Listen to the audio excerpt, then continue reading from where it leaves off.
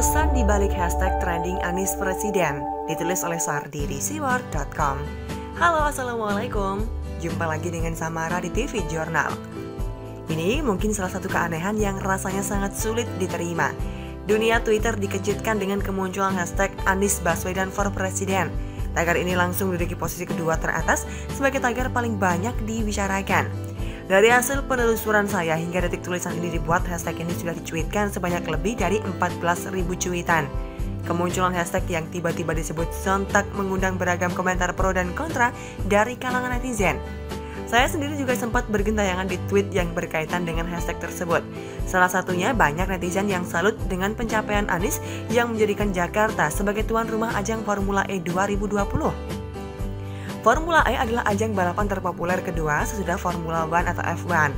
Bedanya dengan F1, Formula E menggunakan mesin bertenaga listrik sehingga bebas emisi dan diadakan di jalan raya yang diubah jadi sirkuit sementara. Hanya karena satu prestasi ini langsung dianggap layak sebagai calon presiden, ini mah keterlaluan bodohnya. Kalau hanya seperti ini, lebih baik Anies jadi menteri olahraga saja.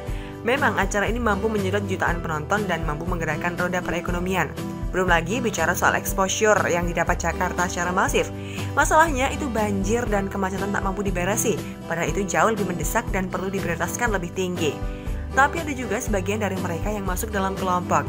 Ah sudahlah, mereka yang rindu pimpinan amanah, Mungkin hashtag ini ada kaitannya dengan sakit hati gerombolan stres yang kalah pilpres dan ngamuk soal rekonsiliasi.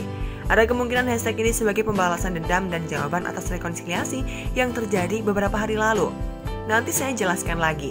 Alasannya aneh saja, Jokowi pun bahkan belum dilantik dan masih ada waktu lima tahun. Tiba-tiba tak ada angin, tak ada hujan, langsung muncul hashtag konyol seperti ini.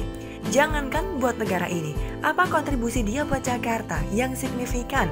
Menjadi menteri tapi dipecat, jadi gubernur juga sama, kinerjanya tidak cemerlang. Biasa saja bahkan banyak kebijakannya yang sangat tidak konsisten dengan janji semasa kampanye dulu. Terus gara-gara satu hasil kerja yang dibawa dari luar negeri, lantas dianggap sebagai best action of the year. Lucu sekali pemikiran begini. Jago ngeles dan sangat keras kepala, lihat saja jalan yang ditutup buat lapak PKL di kawasan Tanah Abang. Dari mana aturan yang memperbolehkan pedagang menguasai jalan sedangkan pengguna jalan harus cari jalan lain. Diingatkan tapi keras kepala dan melawan. Lihat Tanah Abang sekarang, apakah masih serapi dan setertib dulu? Lihat juga soal IMB reklamasi. Dulu terang-terangan membela kepentingan rakyat dengan janji akan menghentikan reklamasi, tapi nyatanya malah terbitkan IMB sambil menyalahkan Ahok demi membela dirinya. Kan keterlaluan sekali. Kerjaan mendesak seperti penanganan banjir malah seolah diperlambat. Mana tuh progres naturalisasi sungai yang katanya lebih baik dari program normalisasi sungai era Ahok? Warisan paling memorable adalah kain waring untuk menutupi kali agar bau tidak menyeruak keluar dekat Wisma Atlet di waktu Asian Games tahun lalu. Tapi seperti yang saya katakan, ada kemungkinan ini adalah hasil balasan dari rekonsiliasi antara Jokowi dan Prabowo. Dan ketahuan pula, ada beberapa kelompok yang terang-terangan menolak rekonsiliasi dan memilih pisah dengan Prabowo. Bahkan kabarnya ada yang menuntut tanggung jawab Prabowo soal kerusuhan aksi 21 Mei. Prabowo akhirnya seolah dijadikan musuh besar usai bertemu dengan Jokowi, yang mereka anggap sebagai tindakan pengkhianatan.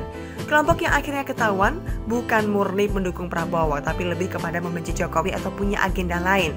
Mungkin ini hanya analisis, mungkin saja hashtag di atas adalah bentuk luapan emosi mereka karena sakit hati.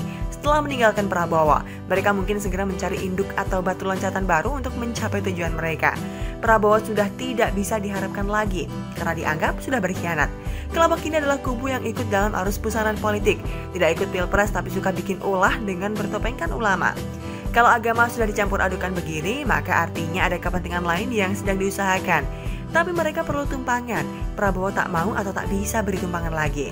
Maka siapakah penggantinya? Bagaimana menurut Anda? Silahkan untuk tulis komentar di kolom komentar. Jangan lupa untuk like, subscribe, dan share. Samara pamit wassalamualaikum warahmatullahi wabarakatuh. Bye!